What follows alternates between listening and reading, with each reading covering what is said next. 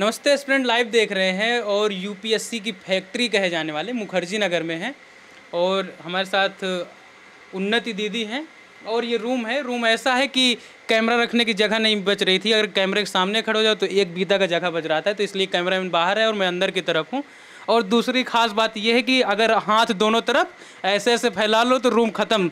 खत्म हो जा रहा। है बिल्कुल ऐसे फैला ले तो रूम खत्म। एक्सरसाइज नहीं कर सकते। एक्सरसाइज भी नहीं कर सकते शुरू होते ही खत्म हो जा रहा है। अच्छा दीदी यूपीएससी एस्पिरेंट का रूम है। क्या क्या रखते हैं यूपीएससी एस्पिरेंट यूपीएससी एस्पिरेंट्स का तो सबसे बड़ा है कि नोट्स है और हम्म। उनकी बुक्स है। साथ में जो शॉर्ट नोट्स बनाए हैं मैगजीन्स हैं। हम्म।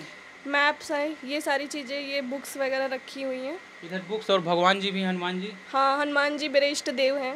ओके। हम्म, तो मदद करते रहते हैं? मदद करते रहते हैं। अच्छा अगला सवाल ये था कि मैप अभी जगह कम पड़ गई मैप लगाने के लिए ऐसा? मैप जगह हाँ कम पड़ गई। ये इंडिया का मैंने पॉलिटिकल लगाया फ़िज़िकल लगाने के लिए मुझे जगह ही नहीं मिली यहाँ पे। वर्ल्ड का तो लगा लिया लेकिन इंडिया के फ़िज़िकल के लिए मुझे जगह नहीं मिली। इतने छोटे रूम का कितना लगता है? इस रूम का पाँच हज़ार लगता है। पाँच हज़ार। तो सफिशियंट होता है आप लोग के लिए ऐसा? सफिशिएंट नहीं मतलब इसमें फूडिंग इंक्लूडेड नहीं है। इलेक्ट्रिसिटी एक्स्ट्रा मतलब अलग से है। प्लस मेरी सिस्टर रहती है तो उसका भी अलग से मतलब अलग हाँ से आपकी सिस्टर अच्छा ये मुझे लगता है कि ये दोनों रूम ही था इसका पार्टीशन कर दिया गया। है पार्टीशन किया गया है। Partition किया ये बीच में प्लाई लगाया गया। प्लाई लगाया गया है तो उधर इनकी सिस्टर रहती है उसको भी दिखाएँगे और इधर ये दीदी रहती हैं। अच्छा और एक खास बात मैंने देखा कि जैसे हमारे गाँव की तरफ़ इसको टाण बोला जाता है। तो इसकी वजह से कहीं ना कहीं आप लोग को सुविधा है क्योंकि बैग रख पा रहे हैं आप लोग। बैग रख पा रहे हैं लेकिन एक असुविधा ये है कि फ़ैन का जो हवा है वो नीचे ना आके वहीं पे कहीं ना कहीं घूमता रहे दूसरा आप बड़ा फ़ैन लगा नहीं सकते। बड़ा फ़ैन लगा नहीं सकते हाँ। काफ़ी समस्याएँ हैं। बहुत समस्या है। कॉकरोच वगैरह आने की समस्या बहुत दिक्कत है। अच्छा इस रूम में मैं दिखाऊँ तो एक आपको यहाँ पे कूलर मिल जाता है। इधर टेबल भी लगा रखा है चेयर भी है इधर फोल्डिंग भी है और इधर अलमीरा भी है। तो बुक की सेल्फ यही रखने के लिए की सेल्फ भी है। हाँ। तो कैसे मैनेज कर रहे हैं आप लोग? यही मैनेजमेंट है कि छोटे से रूम में कैसे अपने आप को तो ज़्यादातर समय तो फिर लाइब्रेरी में ही। ज़्यादा समय लाइब्रेरी में ही इसलिए इतनी दिक्कत नहीं होती कि इतना ऑक्यूपाइड रूम है तो सफोकेशन वगैरह का दिक्कत नहीं होता। लाइब्रेरी में है तो लाइब्रेरी का फिर वो जाता लाइट चली जाती होगी तो कैसे करते होंगे आप लोग? कैंडल रखे यहाँ पे कैंडल एक रखी होगी। वो कैंडल सहारा रहता है हम लोग का। तो यही आपका बेडरूम है यही आपका मेकअप रूम है यही आपका गेस्ट रूम सारा यही है। हाँ हाँ सब कुछ यही है। चलिए अब आगे की तरफ़ बढ़ते हैं आपके सिस्टर का भी रूम दिखाते हैं। तो आगे आगे आप। हम्म, रिद्धि दीदी का रूम है जो कि उन्नति दीदी की सिस्टर हैं।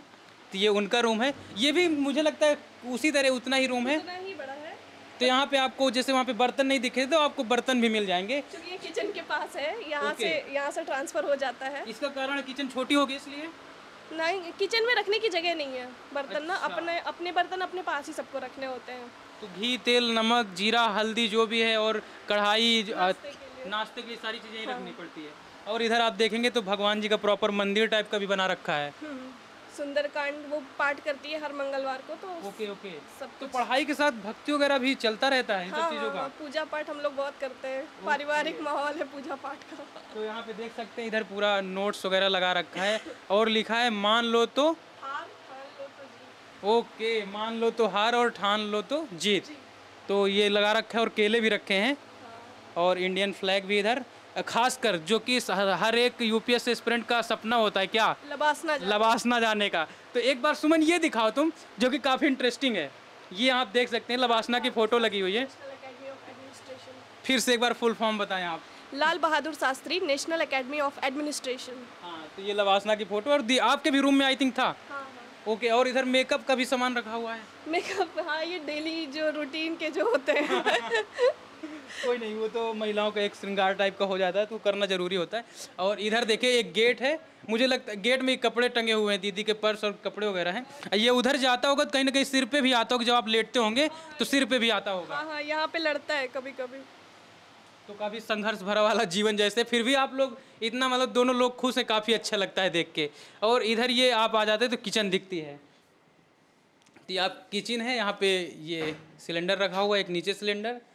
दो तीन। यहाँ पे कितने लोग एक बार इधर आ जाए दीदी कितने लोगों का खाना बनता है? यहाँ पे खाना नहीं बनता मतलब लोगों का नाश्ता बनता है। खाना okay. सब अपना टिफ़िन ले आते हैं हाँ। और नाश्ता वही सुबह शाम का अपना नाश्ता जिसको जो बनाना हो वो यहाँ पे कितने लोग अपना अपना नाश्ता बनाते हैं? छः सात लोगों का है। मतलब पीजी में जितने छः सात लोग इस लोग हैं हाँ सब लोग अपना नाश्ता यहीं बनाते हैं। ओके तो ये पूरा जैसे आप बता रहे थे पाँच हज़ार आपका लगता है पाँच हज़ार आपके बहन समृद्धि का लगता है? तो दोनों इंक्लूड दस हज़ार में सारी चीज़ें दस हज़ार में प्लस इलेक्ट्रिसिटी जो बिल है वो अलग से लगता है। इलेक्ट्रिसिटी कितना आ जाता होगा लगभग? इलेक्ट्रिसिटी जैसे गर्मियों में ज़्यादा आता है 800 के लगभग आता है और ठंडियों में 300 400 तक आता है। तो ये कूलर फ्रिज वगैरह जैसे रखा है तो ये सारा पीजी पीजी की तरफ़ से मिला हुआ है? हाँ ये कूलर के लिए अलग से मतलब देना होता है। फ्रिज फ्रिज सबके लिए अलाउड है सबका सामान इसी में रखा जाता है। तो ये गर्ल्स पीजी था जो कि आपको दिखा रहे थे छोटे छोटे रूम है ये छोटी सी किचन है जहाँ पे नाश्ता बनाते हैं। जो कहते हैं ना कि असली संघर्ष यूपीएससी में करना पड़ता है कहीं ना कहीं वो यहाँ पे दिख रहा है आप लोग। को होता है संघर्ष. यही मुखर्जी नगर के छोटे से रूम से। तो ऐसा कुछ होता है तो एक प्रकार से यहाँ पे एक संघर्ष दिखाने का प्रयास किया। दूसरी की जैसे जो लोग आना चाहते हैं यहाँ रहना चाहते हैं यूपीएससी की तैयारी करना चाहते हैं तो उनके लिए कहीं ना कहीं प्रेफरेंस के रूप में है कि कितना पैसा लगता है और कैसे रूम होते हैं। तो हमारे साथ समृद्धि दीदी थी। इसके पहले हम लोगों ने दोनों सिस्टर के साथ समृद्धि दीदी जो थी और इनका नाम उन्नति दीदी। दोनों लोग साथ इंटरव्यू किया तो वो वीडियो भी आप देख सकते हैं। Thank you